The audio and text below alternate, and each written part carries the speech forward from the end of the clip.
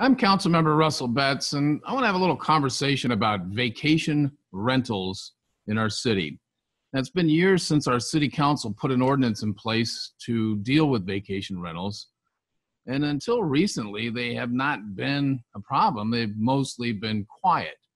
I know my next door neighbor had one, and even though it was an active vacation rental, it was quiet. It was nothing more than you would hear from any neighbor across the fence, uh, you know, conversation like conversation, and you know, really no disturbance. It was fine. But in the last year, we've been getting uh, quite a few more complaints. They've started to pop up. And as council members, we get those calls and you know, we got to deal with them. Hey, it's a wild party until all hours of the night, um, many nights of the week. Can you help me deal with this? Now, of course, people are calling the police to report the loud disturbance, but by that time, it's already a problem. By the time it's gotten to the point where you got to call the police, the neighbors are already disturbed. And that's kind of like solving the problem after the horse is already out of the barn. We need to, to deal with it. Now, a couple of cities have taken some action on vacation rentals because apparently they've gotten to be a much bigger problem in those cities. Uh, Cathedral City is putting a ban on them, I think, for at least a short period of time. And La Quinta, the city of La Quinta, just enacted a 90 day moratorium on new vacation rental uh, registrations. I've met with some of the residents who are having problems with the vacation rentals next to them. And uh, part of the dealing with it is it's, it's nearly impossible to get in touch with the owner. I mean, I'd like to be able to call them at the time the commotion is taking place. And uh, I imagine the call going something like this Hey, uh, this is Councilmember Russell Betts in Desert Hot Springs, and I'm getting some complaints about the uh, vacation rental next door uh, that you have in our city.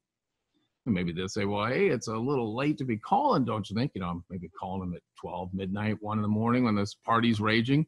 And I go, well, that's kind of the point. You need to get on the phone and tell them to knock it off. You're right, it is too late for this call. Part of the problem with that, though, is that Airbnb seems to really go out of their way to make it hard to get the owner's number. And uh, so, you know, we have to try and figure out how to solve that part of it. A way to deal with this. And as I've researched this issue, I, I was happened to look around the neighborhoods in Big Bear, and I saw each vacation rental has a big plaque up on the uh, front of the house. It says how many occupants are allowed to be there, the occupancy number, how many vehicles are allowed to be parked, and uh, also has a contact number so you can actually call them, and it's all very visible.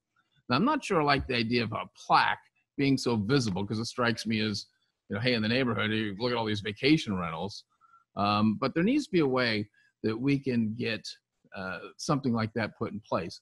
And I think somewhere that a phone number of the owner needs to be visibly posted, maybe like the address on the house. It's easily visible from the street so the neighbor can pick up the phone and call.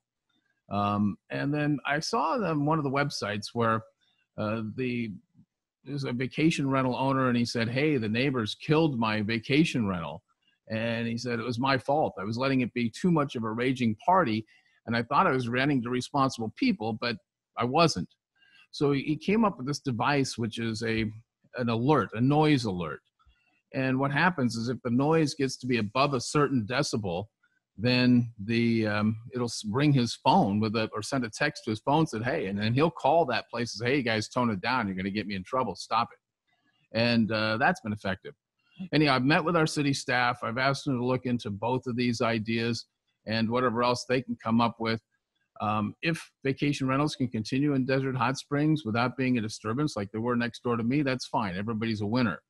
But uh, at the point that they've got a raging party every night uh, next to your home and you're trying to sleep, get up for work. Um, it's just not acceptable, and we got to deal with that. So, all right. This is Russell Betts, uh, City Council member here in Desert Hot Springs, uh, just bringing you a local issue, and uh, certainly welcome any uh, comments or concerns that you might have on any other issues. You can always reach me. My phone number is down there at the bottom of the screen.